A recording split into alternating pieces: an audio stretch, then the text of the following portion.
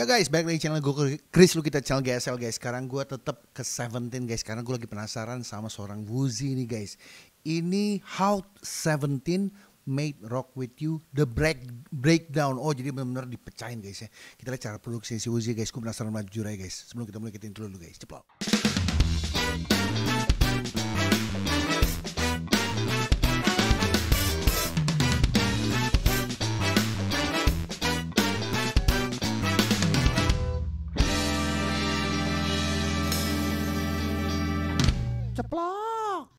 Oke guys, nih semoga benar-benar pendekatan dari uh, plane benar-benar sampai proses semuanya guys. Mudah-mudahan guys, karena ini lumayan panjang sih guys, 11 menit guys. Langsung kita reka ya guys. How 17 made rock with you the breakdown. Ceplok. Hey guys, we're 17. I'm Uzi. Oke Buzi. Wih ada Vernon And we're here with sama Joshua. Joshua ya. Oh studionya PW gila. PW gila. Dia pakai panel-panel juga ya tadi ya, gue lihat ya. Studionya. Ini by the way uh, studionya nggak sama yang sebelumnya gue react guys ya, yang yang Wuzi lagi take vokal guys ya. Jadi produksi musik kayaknya di studio yang berbeda harus yang pakai treatment lebih spesial guys. Jadi kalau misalkan yang satu lagi tuh buat take vokal doang guys. Oke lanjut dulu guys.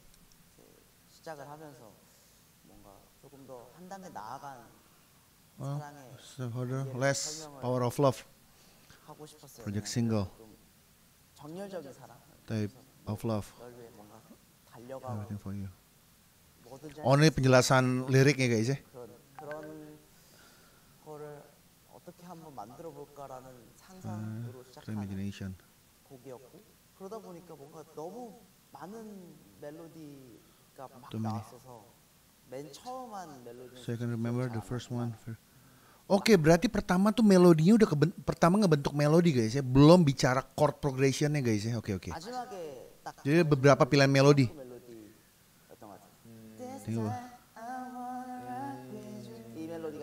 Closer event was complete, oke. Okay. Tapi force belum dapat ya.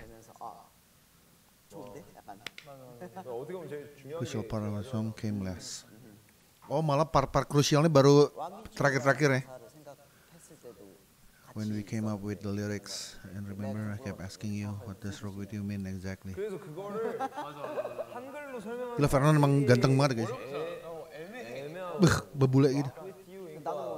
with you 나는 어감도 좋고 느낌도 막 그치 그치 So I wanna use it. 아, 쓰면 좋을 것 같은데 정확히 무슨 뜻이야? 그치 그러니까 되게 포괄적인 말이라서 To many different situation. 근데 그래서 오히려 약간 더 이렇게 딱 관통이 되는 뭔가 이 음악에 Convey through our music. 원하는 바와 딱 적합하게 맞아 떨어지는 그 Tapi gue suka sih sama Seventeen tuh jadi dia benar-benar eh, play player lagi. Music sebagai musician juga sebagai yang menyanyikan juga guys. Jadi mereka tahu tuh cara di balik liriknya mereka bisa ngejiwain ibaratnya guys ya. Ibaratnya seperti itu guys.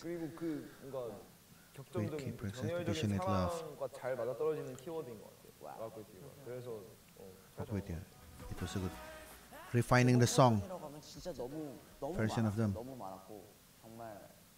Oh versi udah banyak guys ya revisi banyak guys ya. Iya sih emang seharusnya kayak gitu guys. Cara yang terbaik dari semua versi berarti guys. Baru itu yang jadi uh, terakhir ya, yang dirilis lah, publish. Big change.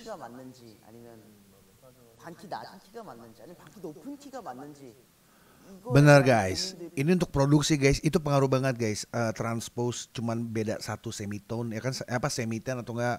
satu tone gitu tuh mempengaruhi banget mood suara guys. Pemilihan chord jadi itu penting banget guys. Benar banget nih. Benar banget. Member or level production team konflik iya yeah, apalagi kerja sama tim guys ya.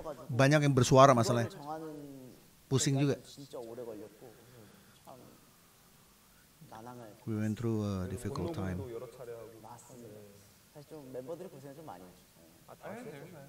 Iya kayaknya produksinya lama guys ya hidden sound. Oke, ini kayaknya ada Easter egg nih guys ya di lagu-lagu. You look like a producer. Waduh. Oke.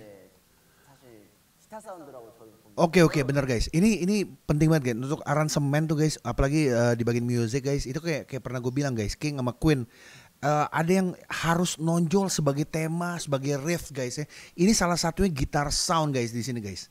Jadi harus nggak boleh semua mendominasi guys. Semua sisanya lebih hitam. Oh firstnya ada beberapa ya, ada BC kayaknya guys ya. Ini verse satunya. Wow, sama gitar enak banget ya. Connecting, connecting bridge if you isolate and if you isolate it, oke. Okay.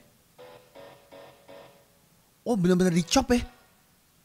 Gitar pun dicop guys, jadi benar-benar dia di take, cuman dicop lagi, dipotong-potong lagi guys. Ya chop pengertiannya ya dipotong-potong gitu guys ya. Nah coba dijelasin nih. 뭔가 되게 부분 부분 Ini you see here. 발전 Iya patah-patah ya. 이제 어, 기타를 Receiving the recorded guitar sound. 녹음을 Oh sample berarti ya. Dia terima. 하고 다시 Ya we sample it. 샘플화 시켜서 차핑을 Then 해가지고 chop it. Oke benar.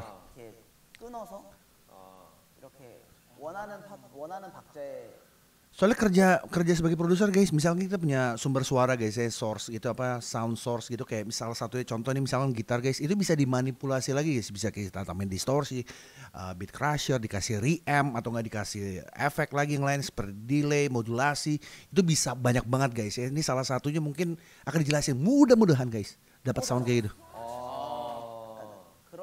Oke, langsung di ya drag and drop.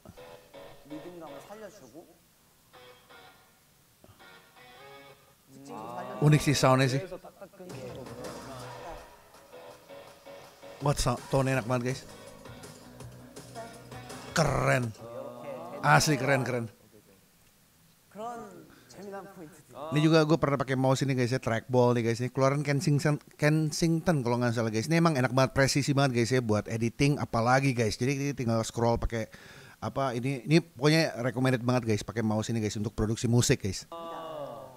아, 근데 생각해보면 좀 Ada Easter egg di situ guys. 번거롭겠는데? 어, 번거롭지만 그래도 좀 완성도를. Worth it for the quality, completeness. Inspiration for the sound. Oke, lebih detail lagi. ya. 그 이제 범죄 Oh ini Boomzu guys, bukan Boomzi. Gue salah nyebut, sorry guys. 찍은 자켓 사진의 어떠한 모양들을 보고 Lu studionya PW sih guys. Ini ini vibe-nya mungkin uh, biru gitu guys ya karena ini lighting buat ini guys ya. Jadi uh, sebenarnya suasana lebih remeng ya guys, seru banget ya. Asli. Iya, Itu speaker eh, iya, nggak ada yang murah guys, ini kayak vokal iya, Ini satu lagi yang biasa dipakai sama ini juga guys. Apa namanya? Lu sampai lupa. Barefoot ya, barefoot. Nah, saya our hip hop unit photoshoot on the monitor. Okay. Uh-huh. So the flame motorcycle. Ya. And we saw our member physically embodying the passionate love idea. Gagal ngeliat flame motorcycle. Ya?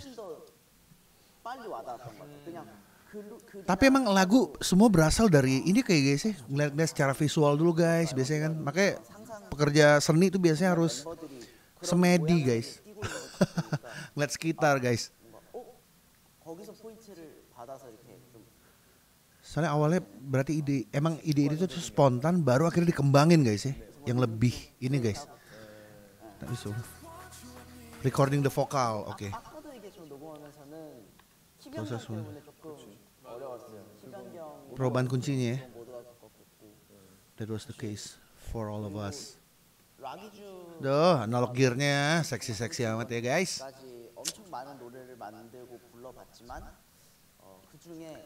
Nah soalnya guys ini kenapa gue selalu bahas-bahas analog gear guys ya? Karena kalau analog itu tuh soundnya tuh lebih tebal, lebih warm, lebih saturate guys ya. Harmonic distortion tiap-tiap frekuensi itu ada yang kebus guys. Jadi benar-benar tuh kalau kerja di analog guys Itu tone-nya lebih padat guys dibanding sama tone-tone uh, dari digital Sumber digital gitu guys ya. Jadi kebanyakan musisi tuh sampai sekarang belum move on dari analog untuk ke digital guys. Karena analog tuh lebih terdengar lebih warm guys untuk uh, ini kayak plugins. Kayak plugins kan insert tuh ada yang uh, digital bawaan dari DAW ataupun plugin third plugins tapi beberapa ini kalau gue ngeliat uh, beberapa musisi lebih menggunakan memilih analog gear guys ya. Karena masih ada transformersnya itu guys, itu nggak bisa ngebohongin guys. Biasanya itu. Komponen-komponennya. Wih, suaranya. Suara tinggi ya, Uzi. Ya? constantly throughout. Dan DAW-nya gue gak paham nih guys, DAW-nya dia pakai apa gue gak ngerti guys. Yang pasti gak sama sama gue ya, jelas. Jadi gue gak paham tuh. Begini. Range. Iya apalagi dia yang false itu tinggi guys ya. Jadi key-nya harus benar-benar pas guys dengan range mereka guys. Hormel Wild Capacity. in my regular style, I might have even it would have been really love. Tender voice, asik. Ah, we love that sound.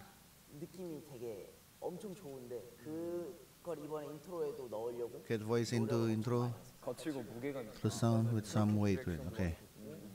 뭐 처음에는 되게 어색하다가 계속 녹음을 하다 보니까 조금 익숙해지더라고요. 그게 멋있어? 거기도 완전 Sa- Sama ini guys, kalau rek- rekaman guys, banyak juga penyanyi guys yang rekaman guys ya itu sangat beda guys. Mereka bilang, eh kok gue di WC suara gue enak guys. Pas masuk rekaman tuh kok gue suara gue jadi jelek. Penting guys, itu beda banget guys di kamar mandi itu soalnya ada reverb alami soalnya guys ya, pantulan-pantulan dari dinding guys. Jadi kelihatannya enak memang guys. Kalau rekaman biasanya cenderung lebih 거기서 tone-nya lebih dark gitu guys ya nggak ada room we try to get the sound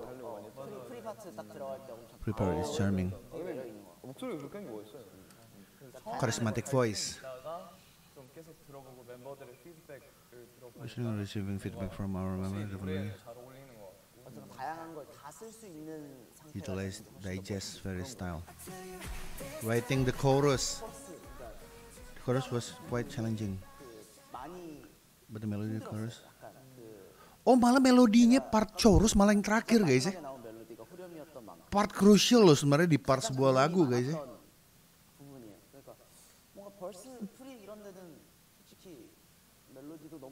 Jadi gue pengen denger lagi nih Rock You guys. I had an itch. Huh? Kayak kurang gitu ya.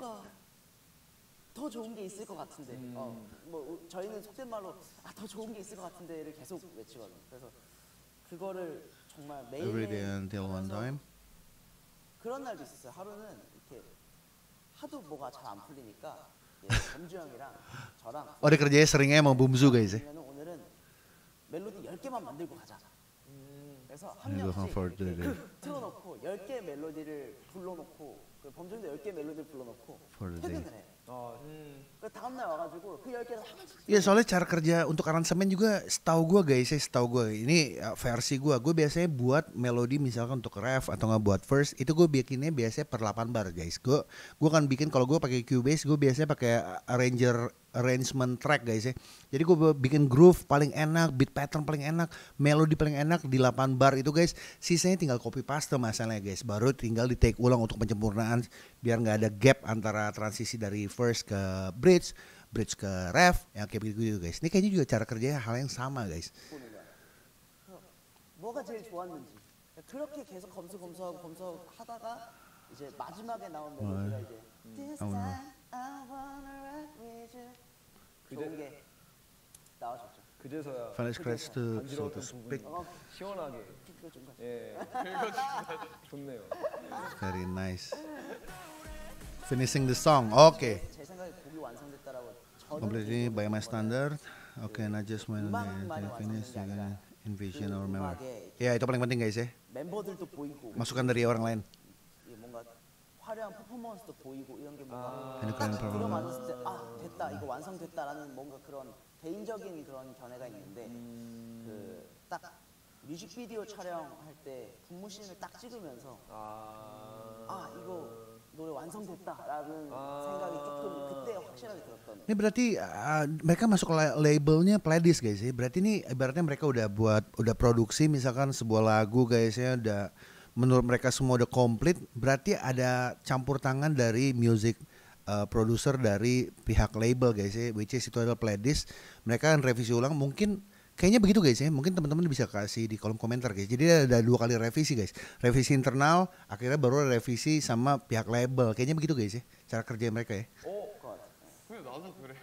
이, 이게 그냥 정답인 것 네, 같아. sorry. 이게 정답이에요. Okay, but 근데 you're 맞아. right because 우리는 어쨌든 동시에 Feels 플레이하니까 similar, 더 usually. 그렇지. 그리고 퍼포먼스가 되게 Internal 중요한 group 부분이라서. identity. 그렇지 이게 맞아.